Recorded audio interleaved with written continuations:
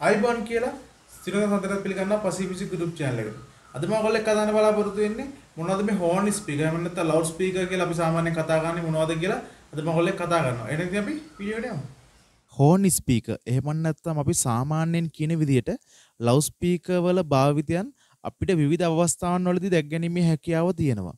උදාහරණයක් විදිහට විශාල පිරිසක් එකතු වුණු ස්ථානවල අපිට විශේෂයෙන් මේ ලව් ස්පීකර් දැක්ගැනීමේ හැකියාව තියෙනවා. මේ හෝන් ස්පීකර් එකක් එහෙම නැත්නම් අපි කියනද ලව් ස්පීකර් එකක් නිෂ්පාදනය වෙලා තියෙන්නේ යුනිට් එකකින් සහ හෝන් එකකින්. මේ යුනිට් එක ඇතුළෙන් තමයි මේ ශබ්දය නිෂ්පාදනය කරලා ලබා දෙන්නේ. ඉතින් මේ හෝන් එකෙන් කරන්නේ මේ යුනිට් එකෙන් නිපදවන ශබ්දය විශාල පරාසයකට මුදා හරින එක. විශාල පිරිසකට කතා පැවැත්වීමට ආගමික උත්සවවල ප්‍රචාරණ කටයුතුවලදී වගේ අපිට මේ හෝන් ස්පීකර් භාවිතා කරන අවස්ථාව විදිහට සඳහන් කරන්න පුළුවන්. ඉතින් සාමාන්‍යයෙන් මේ හෝන් ස්පීකර් එකක අපි සාමාන්‍යයෙන් භාවිතා කරන බෆල් ස්පීකර් එහෙම නැත්නම් දන්නදිරිකෝ බෆල් සවුන්ඩ් තරම් ඒ සවුන්ඩ් වල ක්වොලිටිය මේ හෝන් ස්පීකර් වල නැති වුණත් අපිට මේ හෝන් ස්පීකර් එකකින් විශාල ප්‍රමාණයක් එහෙම නැත්නම් විශාල භූමි පරාසයක් ආවරණය වන පරිදි ශබ්දය විසිරුවා හරින්න පුළුවන්. ඒ හේතු නිසා තමයි මේ හෝන් ස්පීකර් මහජන රැස්වීම් වැනි අධික පිරිසක් එකතු වන ස්ථානවල කතා පැවැත්වීම වැනි කාර්යයන් සඳහා යොදාගන්නේ. දැන් ඔයගලන්ට පේනවා ඇති කොටස් නම් කරපු හෝන් ස්පීකර් එකක රූපයක්. ඉතින් ඔයාලට පේනවා ඇති මේකේ වම් පැත්ත උඩින්ම තියෙන බෑක්නට් කියන එක. ඒ තමයි මේ ස්පීකර් එකේ මෙතන යුනිට් එකේ තියෙන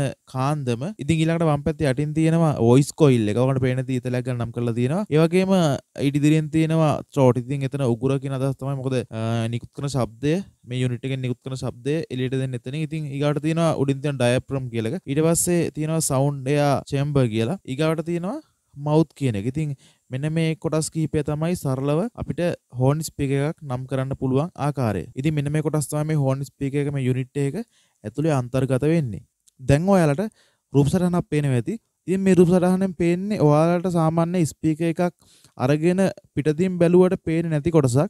ඉතින් මේ කොටස තියෙන්නේ ස්පීකර් එක ඇතුලේ මේ කොටසෙන් තමයි මුලින්ම ශබ්දය එලියට එන පටන් ගන්න. මේකෙන් ඇවිල්ලා තමයි ස්පීකර් එක ශබ්ද එලියට නිකුත් කරන්නේ. ඉතින් මේ කොටස ඔයගලන්ට පේනවා ඇති යුනිට් එක සම්බන්ධ කරන කොටසක් තියෙනවා. සාමාන්‍යයෙන් අපි ස්පීකර් එකක් අරන් යුනිට් එක සම්බන්ධ කරාට යුනිට් එක ඇත්තටම සම්බන්ධ වෙන්නේ මෙන්න මේ කොටසට. ඉතින් අපි හෝන් එකක් අරන් අපේ ඩ්‍රයිව් යුනිට් එක සම්බන්ධ කරාට ඇත්තටම අපේ ඩ්‍රයිව් යුනිට් එක සම්බන්ධ වෙන්නේ මෙන්න මේ කොටසට. ඉතින් මේ කොටස සම්බන්ධ වෙලා තමයි ශබ්දය නිකුත් කරන්න පටන් ගන්න. ඒ විදිහට මෙන්න මේ කොටස සම්බන්ධ වෙලා මේ කොටසෙන් එලියට දීලා තමයි ශබ්දය මම කලින් කිව්වාගේ පිටතට යවන්නේ. ඉතින් මම දැන් ඊගාවට ඔයගලන්ට රූප සටහනෙන් තේරුම් ගන්න පුළුවන් වෙයි කොහොමද මේ යුනිට් එක සම්බන්ධ වෙලා මේ කොටසට ඒ ශබ්දය එලියට යවන්නේ කියලා. ඉතින් ඕගොල්ලෝ සමහරට කෙනෙක්ට ගැටලුවක් ඇති කොහොමද මේකෙන් ශබ්ද එන්නේ? කොහොමද මේ ඇතුලෙන් මේ ස්පීකරෙන් එලියට සවුන්ඩ් එක අවුට් කරන්නේ? ඉතින් මෙන්න මේ දේ හුඟක් අයට හිතා ගන්න බැරි අයත් අද ඉතින් මේ රූපෙන් ඔයගලන්ට පේන්නේ මෙන්න මේ කොහොමද ශබ්දය එළියට එන්නේ කියලා. ඔයගලන්ට පේන තී ඊතල වලින් සඳහන් කරලා තියෙනවා ශබ්ද එළියට එන්නේ කොහොමද කියලා. ඒ ඊතල ගිහිල්ලා ඉදිරියේ තියෙන අර මං කලින් කිව්වා ශබ්ද නිකුත් වෙන්නේ පිටුපස්සේ තියෙන යුනිට් එකෙන් ස්පීකර් යුනිට් එකෙන් ශබ්ද නිකුත් වෙලා ඒ ශබ්දය ගිහිල්ලා අර ඇතුලේ තියෙන ඉදිරියට ආපු කොටසේ තමයි වදින්නේ. ඒ කොටස ඇදිලා ඒක ඇතුලෙන් ගිහිල්ලා තමයි අර ලොකු හෝන් එකෙන් අවුට් කරන්නේ. ඔයගලන්ට මේ ඊදල දිහා බලලා අවබෝධ කරගන්න පුළුවන් කොහොමද මේ සද්දේ එළියට යන්නේ කියලා. ඉතින් මේ හෝන් ස්පීකර් විවිධ බ්‍රෑන්ඩ් වලින් විවිධ වොට්ස් ගණන් යටතේ අපිට දැක් ගන්න පුළුවන්. ඉතින් මේ හෝන් ස්පීකර් වලට බලය ලබා දීම සඳහා එහෙම නැත්නම් මේ හෝන් ස්පීකර් වලට ශබ්දය ලබා දීම සඳහා අපි PA ඇම්ප්ලිෆයර් භාවිතා කරනවා. ඉතින් මගේ PA amps ගැන ඔයගොල්ලන්ට ඊළඟ වීඩියෝ එකෙන් කතා කරනවා. ඉතින් අපිට මේ හෝන් ස්පීකර් සහ මේ PA amp සම්බන්ධ කිරීමේදී වොට්ස් ගණන් ගැන සහ ඕම්ස් ගණන් ගැන සැලකිලිමත් වීම අවශ්‍ය වෙනවා. මොකද ඒක අපි යොදා ගන්න හෝන් ස්පීකර් වලට සහ PA amps වල ආරක්ෂාවට වැදගත් වෙන නිසා. ඉතින් මේ හෝන් ස්පීකර් අපි වැඩකට යොදා ගනිද්දි අපි මේ හෝන් ස්පීකර් වලට බලය ලබා දීමට යොදා ගන්න ඇම්ප්ලිෆයරය හා ඒ හෝන් අතර අඩදුරක් නම් එහෙම නැත්නම් අපි කිව්වොත් සාමාන්‍යයෙන් අපි ස්පීකර් සම්බන්ධ කරන්නේ ඇම්ප්ලිෆයර් එකට ළඟකින්ම නම් එහෙම නැත්නම් සාමාන්‍යයෙන් කිව්වොත් අපි හෝන් ස්පීකර් සම්බන්ධ කරන්නේ PA amp එකට ළඟින්ම නම් අපිට පුළුවන් සාමාන්‍ය විදියට PA amp එකෙන් බලය ලබාගෙන හෝන් ස්පීකර් වලට අවුට් කරන්න. එහෙම නැතුව අපි හෝන් ස්පීකර් සම්බන්ධ කරන PA amp එකට සැලකිය යුතු දුරකින් නම් අපි එහෙම නැත්නම් කිව්වොත් ටිකක් වැඩි දුරකින් නම් අපිට පුළුවන් මේ LMT හරහා සම්බන්ධ කරන්න. LMT කියන එක තේරුම තමයි line matching transformer. ඉතින් මේ line matching transformer කියන දේ අපි හෝන් ස්පීකර් සම්බන්ධව කතා කරද්දී කතා කරන්න ඕනි මාතෘකාවක් කතා කළ යුතු මාතෘකාවක්. මොකද මේක හුඟක් දුරට හෝන් ස්පීකර් භාවිතා කරද්දී භාවිතා වන ඔප්ෂන් එකක්. LMT කියන එක එහෙම නැත්නම් line matching transformer එක ගැන මොකට වෙනම වීඩියෝ එකක් අරගෙන මොකද අපිට ඒක ගොඩදුරට කතා කරන්න පුළුවන් දෙයක් හින්දා ඒකේ ඇත්තටම කොහොමද ඒක හැදිලා තියෙන්නේ මොකක්ද ඒකේ අන්තර්ගතය කියලා මම ඔයාලට වීඩියෝ එකක් අරන් එනවා. ඉතින් මම මේ වීඩියෝ එකෙන් පස්සේ එන්නේ ඇම්පලිෆයි එහෙම නැත්නම් PA amp ගැන වීඩියෝ එක ඊට පස්සේ එනවා මේ LMT ගැන වීඩියෝ එක. අනිවාර්යෙන් මේ වීඩියෝ තුනම ඔයගොල්ලෝ බලන්න. ඒ වීඩියෝ තුනම බැලුවට පස්සේ ඔයගොල්ලන්ට හෝන් ස්පීකර් සිස්ටම් එකක් ගැන හොඳ අදහසක් ගන්න පුළුවන්.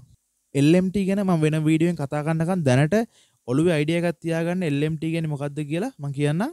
LMT කියන්නේ අපි සාමාන්‍යයෙන් PAම්ප් එකක් සහ හෝන් ස්පීකර් සම්බන්ධ කරද්දී හෝන් ස්පීකර් PAම්ප් එකට ළඟ නැතුව සැලකිය දුරකින් තියෙනවා නම් අපි කෙලින්ම ඒ හෝන් ස්පීකර් වලට PAම්ප් එකෙන් සාමාන්‍ය විදියට බලය ලබා දෙන්නේ අපි LMT උපයෝගී කරගෙන තමයි ඒ දුර තියෙන හෝන් ස්පීකර් වලට බලය ලබා දෙන්නේ. ඉතින් හෝන් ස්පීකර් ඇම්ප්ලිෆයර් එකෙන් දුරට යන්න යන්න අපි මේ LMT භාවිතා කරනවා. අන්න ඒක ඔළුවේ අයිඩියා එක තියාගන්න. ඉතින් මේ හෝන් ස්පීකර් ගැන තවදුරටත් කතා කරද්දී අපිට මේ හෝන් ස්පීකර් වල විවිධ හැඩයන්ගෙන්නුත් හෝන් ස්පීකර් දැක් ගැනීමේ හැකියාව තියෙනවා. ඉතින් මේ තමයි අපි සාමාන්‍යයෙන් භාවිතා කරන හුඟක් දුරට දැකලා තියෙන හෝන් ස්පීකර් එක. ඉතින් මේක ඇත්තටම සාමාන්‍ය දිගකින් තමයි යුක්ත වෙන්නේ. ශබ්ද පරාවර්තනය මගින් දිග අඩු කරලා තමයි මේක තියෙන්නේ. ඉතින් මේ හෝන් ස්පීකර් එකේ යුනිට් එකේ වොට් ගණන අනුව තමයි ස්පීකර් එකේ බලය තීරණය වෙන්නේ. ඉතින් මේ ස්පීකර් අපිට PA amp එකක් සමග සාමාන්‍ය විදිහට වගේම LMT හරහාද භාවිතා කරන්න පුළුවන්. ඊළඟ ස්පීකර් එක තමයි ඔයගොල්ලෝ දැකලා ඇති සාමාන්‍යයෙන් අපි කලින් කතා කරපු ස්පීකර් එකට වඩා ටිකක් දිගෙන් වැඩි ස්පීකර් එකක් තියෙනවා. ඉතින් මේක අපි හඳුන්වනවා long throat speaker කියලා. ඉතින් මේ හෝන් එක ඇත්තටම දිග කඳකින් යුතු නිසා ශබ්ද තරංගවල high frequencies වැඩිපුර ඇහෙනවා. ඉතින් මේ හෝන් ස්පීකර් එකෙත් යුනිට් එකේ වොට් ගණන අනුව ස්පීකර් එකේ බලය තීරණය වෙනවා.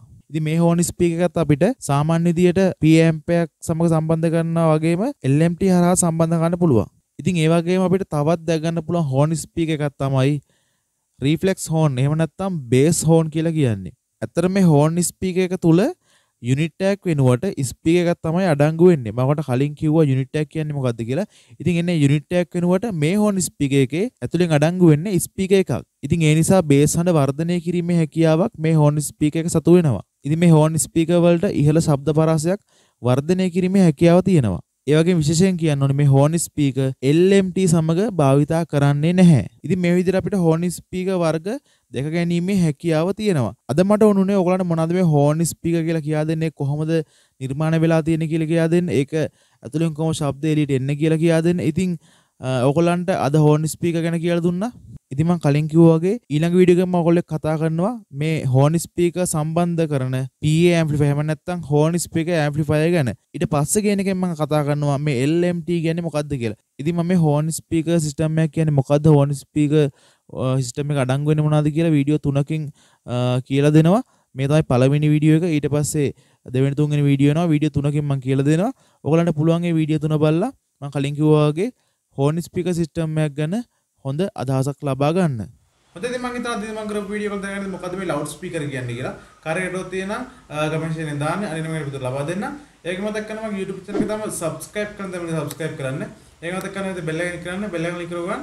මම ඔයාලා වීඩියෝ එකක් දාපු ගමන් ඒක notification බලා ගන්න පුළුවන්. එහෙනම් ඉතින් අපි අද යමු.